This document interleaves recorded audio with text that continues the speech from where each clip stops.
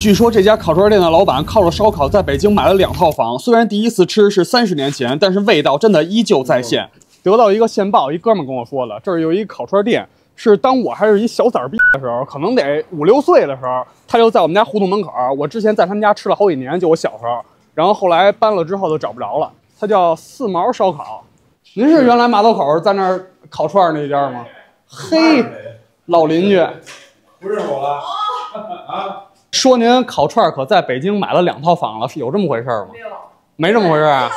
那辟谣了，那辟谣了。他这儿能烤的东西特别的多，就是很多很多烤，什么羊尾骨都有。我点了俩羊尾骨，我还没吃过烤羊尾骨呢。来了，肉筋来了，哎呦喂，先吃着。三十年前的味儿啊，这相当可以吧？这个，原来他家是腌肉，就是红色儿的，现在这肉呢是不腌了，但是尝一口。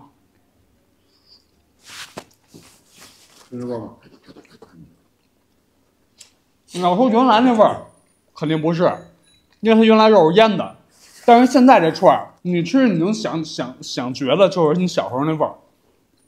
哦，就是这东西啊，那串儿行不行？这串儿行，就是老传统穿法，三瘦两肥的串儿。哎，这羊肉串儿好吃哎，朋友们。这我那个我不是说，因为原来吃过他们家好多人串儿才这么说，他们家羊肉串儿真挺好吃的。我说说说看那羊肉串，你看那人都比较亲切。来，我，干杯！好嘞，这都给你。就是很明显的那种炭火的香味儿，全都烤在烤进这个串儿里边了。而且他们家这肉用的也不错。哦，大家有没有平时必备的下酒凉菜，或者说配烤串儿凉菜？我就爱吃这个，真的两串两串儿吃过瘾。你这样的，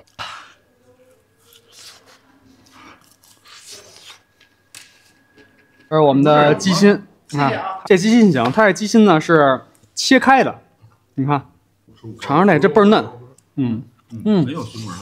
它是烤了，先甭吃，你先闻。虽然说谈不上爆汁那种程度，但是呢一点都不腥。杨毅那现在还干的吗？早拆了吧。这杨毅那是谁干的？原来是那个让八十干的。八十他们同学，八四二哦，腰筋，好，谢谢腰筋。嗯，这腰筋特别棒，这腰筋是吃起来咯吱咯吱的，这特别好吃，它腰筋是羊腰筋还是什么？全是牙不熟。够呛。还有边是筋，硬。这腰筋是不是腰连着腰的那块儿那块小筋膜？可能是啊，这是谁结账？这是我结，我接我这是我结接。我接我。那有一说一啊，它这个板筋一般。看看看，它板筋没贴着油，你看，所以它吃起来不是那么香。这油边儿是我真的特别特别爱吃的一东西。这里边呢，它外外皮儿是那种比较焦的，然后里边巨嫩。这您俩都能吃，嗯，尝一尝。不是够。而且这肉吃起来就属于那种特别过瘾的，我爱吃这个。外边特别明显一种猪肉，猪肉烟熏的感觉，然后外边特别焦，里边巨嫩。喝一口。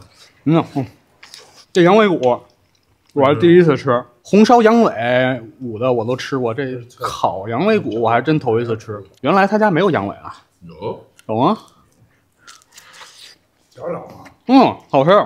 它羊尾骨是以肥的为主，然后贴这个这个肉呢，瘦肉是贴着骨边儿那种骨边肉，这种骨边肉吃起来是最香的。这好吃哎！这是猪的这羊尾羊尾骨倍儿香，您但是您俩谁都吃不了这东西，它是脆骨，哇，真。香啊！这肥油，吃上去又焦又香，一点都不腻的那种。腰子上的肥牛肥油，你吃大口吃的话，你还会稍微觉得有点腻。你要吃肉筋的好，里边肉筋，好吃。吃方便面真的，一非一我是这每个人都有每个人的一个习惯，我这已经养成一习惯了。嗯，这儿该说不说啊，火候味儿不错，火候掌握的不错。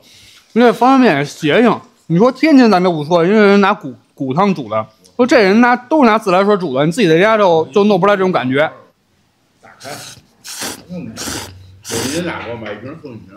您说二百多，您您呢，爸您呢？我赢了四百，您赢四百多啊？来吧，姐，找我爸，赢四百多你还不结账呢？本来我说我结，这上来就来一句我赢四百多。